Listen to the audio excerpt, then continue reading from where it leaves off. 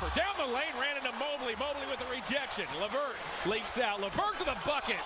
Contact, loose ball, grabbed eventually by Gafford. LaVine. Oh, wow. They're, I mean, contact from Mobley. wow, boy, I tell you, they're, they're letting them play here. VanVleet to Pascal, makes a move, gets by Mobley, and the help comes Barnes, and a jump ball is called. Well, that size, they got the lane intimidation in there. Banchero shovels back to Wagner. Wagner got a step on Love inside, got tangled up by Mobley, and out of bounds it goes. Tatum has that one swatted away. Up ahead, Levert. Count it. Wow. Foul on.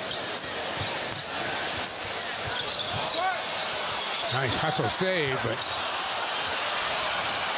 to the wrong team. South couldn't convert. It goes quickly into the hands of Levert, who made that play.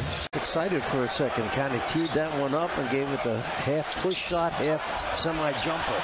Rose has that rejected by Mobley. Here he goes, a seven-footer out to Okoro. Okoro puts it up and draws a foul.